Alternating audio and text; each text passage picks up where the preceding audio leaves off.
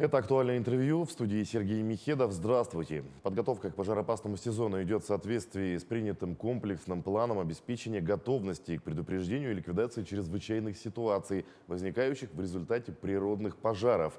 В вопросах по профилактике пожарной безопасности в лесах и весенне-летний период одна из важных мест занимает, отводится запрету сельскохозяйственных палов.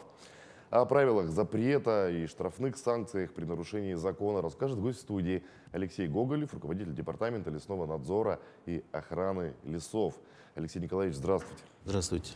Вот когда был введен запрет на сельскохозяйственные палы? Запрет сельскохозяйственный пал был введен у нас э, постановлением правительства Российской Федерации э, 25 апреля 2012 года под номером 390 о запрете выжигания сухой травы землях иных категорий сельхозпастбищах. А, Также у нас действует э, э, пункт 186-185 э, правил противопожарной охраны лесов, где запрещается также выжигание сухой травяной растительности на землях, примыкающих с лесным фондом.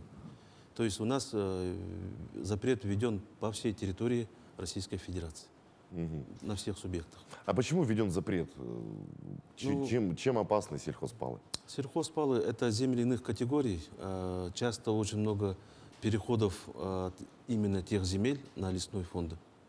Поэтому руководством страны было принято решение запретить. И тем более первые пожары, первые пожароопасные периоды именно открывались в результате выжигания сухой травяной растительности. Мгм. То есть грозит пожарами, лесными пожарами? Да, первые пожары это всегда как э, до, догрозовые, допустим, да, в Якутии у нас были а, именно мест сельхоз а, земель. И также с мест отдыха населения. Это тоже земли иных категорий. Поэтому сейчас идет мониторинг этих мест. Да, И как бы после запрета есть э, положительная тенденция. Вот поэтому как бы Ну, лесные пожары, мы понимаем, что это очень опасно. Вообще, каким последствиям могут привести сельхозпалы? Сельхозпалы могут привести к э, абсолютно неконтролируемым последствиям. То есть никто не может прогнозировать, какого будет, видеть, э, ви- будет вида э, действия лесных пожаров. Это от погоды зависит, от подстилки зависит, от породы лесного массива зависит. Может перекинуться спокойно на э, земли населенных пунктов, экономики. Это очень опасно, поэтому лучше не рисковать, лучше не сжигать сухую траву. Ну, особенно ветреную погоду, конечно. Конечно, у нас весна практически вся ветреная, май месяц. И тем более сейчас э, пожары первые пройдут, откроется сезон. А, наши ребята что они делают? Они идут тушить те пожары, которые не специально, возможно, да, не по знанию, а, прошли э, от именно, перешли с земель иных категорий а, в лесной фонд. То есть они будут тушить его месяц-полтора, пока у нас э, основной лесопожароопасный период э, не придет, вот именно грозовые, у нас то, что в последнее время в Якутии очень часто возникает. И они просто, есть даже вот в моем опыте э, парни, которые, отработав месяц, они увольняются. Вот эти у нас опытные ребята уже самый период пожароопасного горения нашего, да, э, в отдаленных местностях, они уже увольняются, некоторые люди. То есть вот весной самый массив. Допустим, в прошлом году нами было зафиксировано 151 лесной пожар. 151 лесной пожар. 151 Да. только, только из-за сельхозпала. Это э, регистрированные пожары. А понимаете, сколько му- есть пожаров, которые муниципалитеты сами тушат, населенные пункты. Есть та- такой опыт. А какую-то профилактическую работу ведете? Как-то Да, общаетесь с населением? постоянно мы ежегодно, целый год, э, в основном самоусиление у нас идет весной, весенний период. Это совместно с управлением надзорной деятельности ГУМ ЧС э, России по Республике Саха-Якутия, также с органами МВД. У нас э, подписаны э, межведомственные рейдовые мероприятия, то есть нами с министерством, имею в виду, подписаны. И соглашение у нас действует о мерах поддержки и профилактики с, э, с теми же нашими коллегами э, с МЧС и с МВД. То есть серьезно, там все, вплоть до уголовного можно. А вообще какие штрафы предусмотрены за нарушение запретов? За нарушение запретов э, на физлиц у нас э, по статье 8.32 Кодекса административных правонарушений э, действует штраф на физлицо, ну, на гражданина, да, от 30 до 40 тысяч. Мгм. Вот, э, штрафы, к сожалению, невозможно избежать. Если есть факт нарушения, э, в суд и все штрафуется. Потому что у нас э, с этим, как говорится, все действует в рамках закона Мгм. и контролируется. Также на должностных лиц от 40 до 60 тысяч, от, для юрлиц от 300 до 500 тысяч рублей штраф.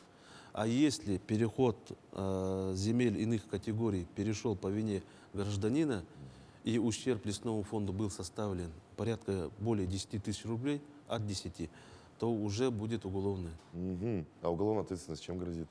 Это до трех лет лишения До трех лет свободы. лишения Да. свободы, да. А, работа принудительная, штраф. Мгм. огромные штрафы. Да. А Это- как вообще вот э, фиксируете такие нарушения? Как это происходит? Ну, в основном фиксируется у нас как по опыту, да, по опыту у нас э, 25 лесничеств Мгм. по республике. А вот именно в весенний период э, усиленная работа ведется по патрулированию.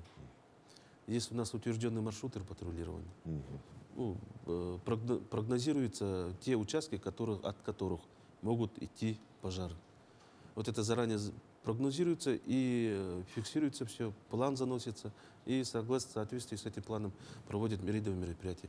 В соответствии э, с э, соглашениями с МЧС и МВД совместные. То есть лесничество может зафиксировать, а МВД это уже постановление выносит, а потом уже штрафы по нескольким направлениям идут. Мгм. То есть есть- маршруты, в принципе, по этим маршрутам да, определяется да, уже, да, уже, уже, уже, уже понятно, да? А вообще какой процент пожаров вот, по причине выжигания сухой травы? Ну, процентовку, э, вот просто у нас есть э, данные, вот то, что сказал, в прошлом году Мгм. 151 пожар, это у нас, э, сейчас вспомню, в Намском 7 пожаров было, Хангаласском э, около 20, по-моему, в Верхоянском 30 пожаров было. Именно от Только в одном Верхоянском районе? Да, 30. ну, Верхоянские сельхозпалы, у них же местность, сухие ручьи, травянистые. У них есть традиционные ведут коневодство, занимаются коневодством, поэтому как бы из-за этого жгут сухую траву или просто неосторожное обращение с огнем в лесном массиве, который переводит э, выгорание сухой травы, потом переход в лесной фонд. Это очень долго делается. Э, Ну, то есть управление надзорной деятельности МЧС, они все это фиксируют, акты составляют, расследование. После этого выносится вердикт, ну, как, почему и от кого вышло. Сейчас, тем более, у нас очень много камер, знаете, в въезде, в выезде в город. У каждого инспектора есть э, квадрокоптеры. Есть, да, То есть вы- с- вы современные можете- технические Вы можете даже, да, да? даже не заметить, квадрокоптер пролетел, зафиксировал э, ваш автотранспорт, потом пожар идет, очаг пожара, с какого места началось. Это сейчас легко доказуемо. Мгм. Вот, поэтому я хотел бы предупредить население, чтобы чуть сдержались и э, в мае, если идут на шашлыки, чтобы не скидывали, не высыпали э, пепел, костры недотушенным оставляли. Даже вот сигареты, чтобы тушили. Мгм. Перетерпеть май, потом у нас июнь вроде бы как бы спокойно идет. Потом э, снова опять же с июля начинаются у нас сухие грузы. Мгм. Мгм. То есть, получается, в принципе, человек может отдыхать на шашлыках или еще где-то, потом, да, мы не запрещаем. потом совершенно неожиданно к нему придут домой Да. и, и- Если откроется пожароопасный сезон, то ведется ограниченный, э, ограничение на посещение граждан лесных массивов. Сейчас, допустим, в Москве принято московским постановлением правительства их, э, Моск- города Москвы о запрете посещения лесопарков. Мгм. Мы сами себе же делаем плохо. Просто нужно поднять свою культуру, культуру посещения лесного массива, а, защищать лес. Допустим, я знаю, да, как э, нужно э, не допустить огонь, распространение огня, да, Мгм. а сосед мой по соседству, который отдыхает, он не знает, можно с ним поделиться. Мгм. А вот как следует себе, в принципе, вести, если вот, ну, например, компания собралась идти там, отдохнуть, например, в лесном массиве, вот как себя Ну, следует сперва вести, чтобы не идет допустить выбрать? Надо, надо правильное место выбрать. Мгм. Мгм. Не в таком месте, где сухая трава, а она же как порох идет. М. Да, сухая трава, как порох, как э, давно... Махом вспыхнет, плюс ветер, потом Да. все, раз- Как обычно у нас... да? Вот сами же знаете, да, когда э, костер сжигаете, тут же поднимается ветер. Вот. Вот так и всегда с пожарами. И не успеют просто не, не, по неосторожности. Нужно иметь с собой постоянно лопату. Да, э, нужно обвести э, защитный барьер вокруг костра обязательно. А там, где мангал стоит, надо. Ни, ни в коем случае нельзя пускать салюты или ракетницу в этот период. Сейчас почему ракетницу говорю? Потому что у нас э, охотники часто ищ- ищут друг друга, и у всех сейчас маленькие ракетницы, которые, да, тоже являются. Просто подъехал, стрельнул ракеты и уехал. Потом она там лежит немножко, Начинает тлеет, разбираться, да? да, тлеет.